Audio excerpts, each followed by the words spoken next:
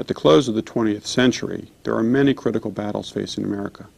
Entrepreneurs versus courts, children versus bureaucracies and teacher unions, taxpayers facing 40% plus tax burdens.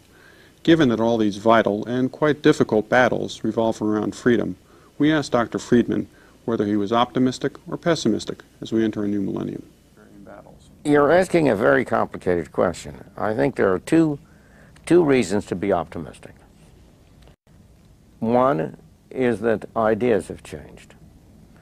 The rhetoric 50 years ago was very different from the rhetoric now. 50 years ago, the rhetoric was that everybody was a socialist.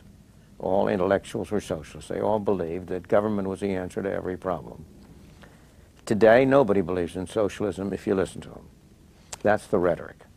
The reality is that we are much less free now than we were 50 years ago. Government is bigger, takes a larger fraction of our income, it imposes more controls on us. We are freer in some dimensions. There's been great social progress in tolerance of minorities. Our racial problem has been much improved, not, not through government, but, but through private activity. Nonetheless, that rhetoric will, has, is having its effect. There has been a reduction in government price and wage regulation, the kind of thing, the deregulation of airlines, the deregulation uh, of uh, uh, communication.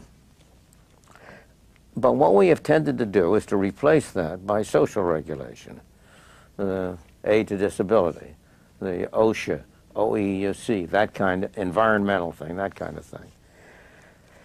So the question is, will the rhetoric, will the change in intellectual ideas carry through and produce a change in actual policy?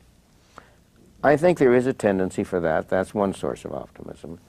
But I think a much more uh, reliable source of optimism is the growth of the Internet in your area, the major factor, the major effect of the internet will be to make it harder for government to collect taxes.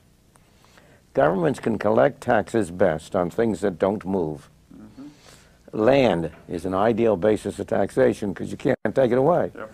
Yep.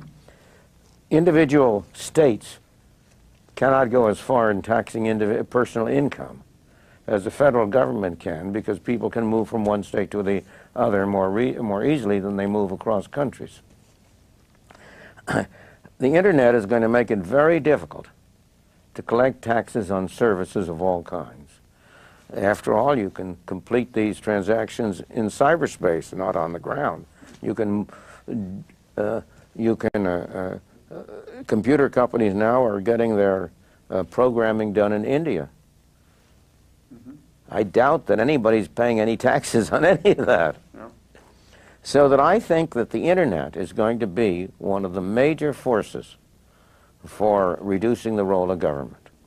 The one thing that's missing, but that will soon be developed, is a reliable e-cash, a method whereby on the internet you can transfer funds from A to B without A knowing B or B knowing A.